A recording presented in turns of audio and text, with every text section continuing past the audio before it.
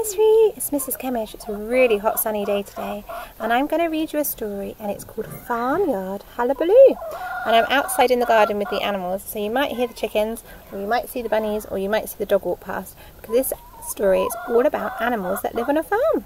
Are you sitting comfortably and ready for our story?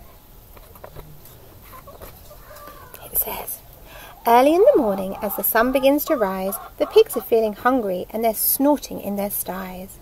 The rooster wakes the farm up with a cock-a-doodle-doo. The sheepdog won't stop barking and the cows begin to moo. There's a stomping in the stables and there's bleating in the barn. So let's climb aboard the tractor and explore this noisy farm. So are you ready? We're going to go and see what animals we can see in the farm. It's a rooster! And he goes, cock-a-doodle-doo, cock-a-doodle-doo. I'm the rocking rooster, baby. Tell me, who are you? And then we have the chickens.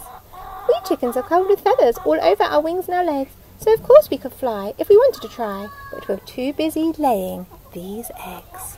and this is a big moo cow. Sometimes I moo when I'm chewing. I hope you don't think that it's rude, but mooing and chewing are what I like doing. Do you moo when you chew your food? There's a big, beautiful cow. And we have a sheepdog. Can you see the little dog? The farmer's old sheepdog, his faithful and loyal best friend. I've been by his side from the day I was born, and I'll stay with him right to the end. Then we have the cat. Meow. Hello, I'm the far fat farmyard kitty. I sleep in the shade of the house, but I always keep one eye half open to spot every passing plump mouse. Oh, they might catch a mouse. And then we have the piggies. I love looking after my piglets and watching them wriggle and squeal. They clamber all over each other all day to snuffle around for a meal. And she has lots of little baby piggies. Piglets, they're called. Donkey. Eeyore. It's wonderful being a donkey. I simply spend hours and hours just wandering round on the soft grassy ground, sniffing the sweet-smelling flowers. Then you have a turkey. I've got these funny floppy things that hang down from my neck they dangle when I gobble, and they wobble when I peck. Then we have some geese. They're very noisy geese. We waddle about in the paddock and make such a din when we talk. Then we sound like a bunch of old ladies who gossip and cackle and squawk. And they go squawk, squawk. Then we have a sheep. And you see the beautiful white sheep? I've got a lovely fluffy fleece, which makes me very proud. So I skip around my meadow, make believing I'm a cloud. then we have a goat. I sometimes hang out by the sheep pen, chortling into my beard. Sheep often think that they're better than us, but goats never need to be sheared, so they don't need a haircut, but sheep definitely do. Then we have a cart horse.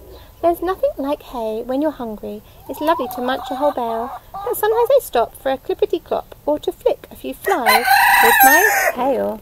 Oh, that sounds noisy cock-a-doodle-doo, isn't it? Oh, this is a big ball, so he's a daddy cow.